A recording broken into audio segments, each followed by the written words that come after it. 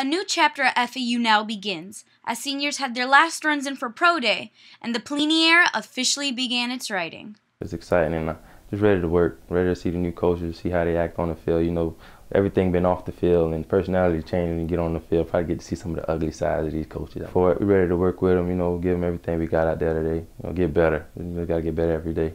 Because it's like a big change we're making, like a big culture change on and off the field. So I'm I'm ready to see what's gonna happen.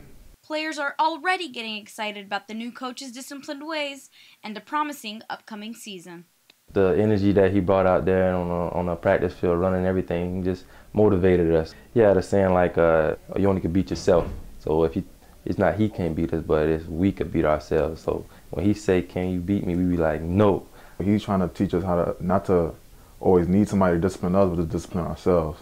So I think that's that's what I, I like about him. I think we changed. I think it's a big change going on.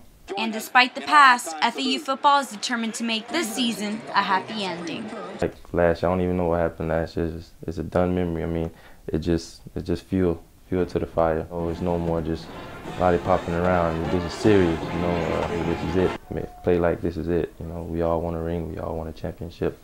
Um, and we just building that bond together, growing like that. Work hard, play hard that's still on some of our hearts, so we plan not to go out like that again. Cause I'm just ready for, for, for change right now.